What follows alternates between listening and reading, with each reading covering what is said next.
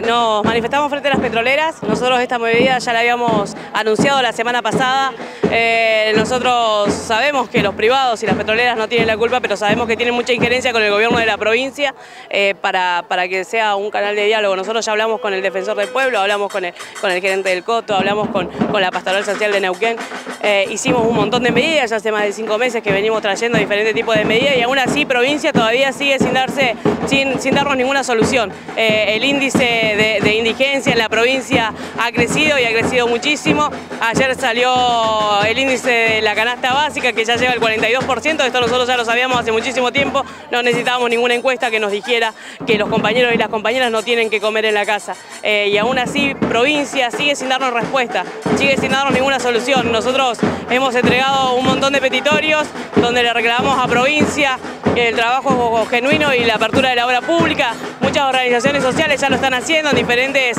salitas del barrio, en diferentes comedores, eh, pero siguen sin darnos ningún tipo de solución, ningún tipo de, alivio a las organizaciones sociales. Se, anunció la ley de emergencia alimentaria y acá en provincia no se inmutaron por nada. Está la CETEP, el Polo, el FOL, la Darío Santillán, los compañeros ceramistas, nosotros estamos acá, los compañeros eh, del FOL están en Pampa Energy y los compañeros del PO con los compañeros ceramistas eh, están en Plus Petrol.